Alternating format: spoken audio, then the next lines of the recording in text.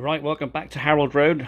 Video number two, the flashing tail lamp we're going to fit to the Class 56.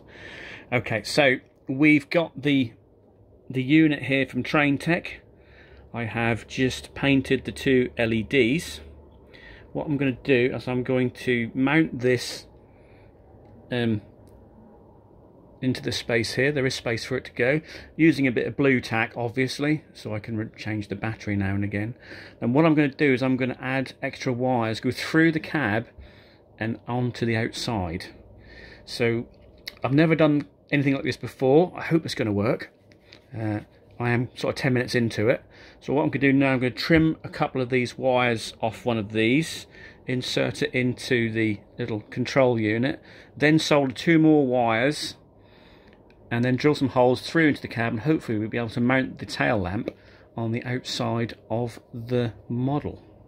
Yeah, exciting. This is, I've never done something like this. I do like to do a bit of trial and error, so let's see how it goes. Right, so what I've done here is I've extended the two wires that go into the control unit. I'm going to added two extra wires so they can go through to the front of the cab.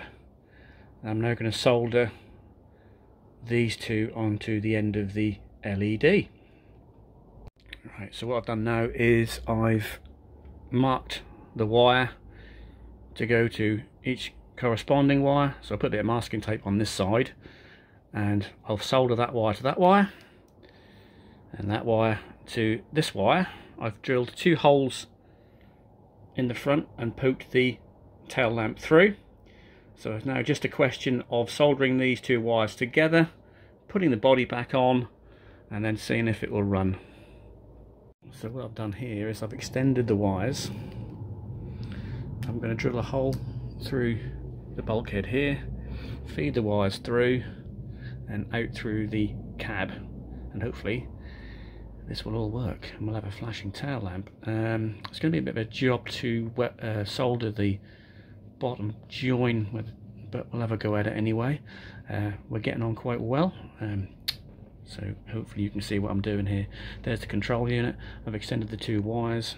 I'll now feed them through the back of the cab onto the floor through the front and to the flashing hopefully red tail lamp.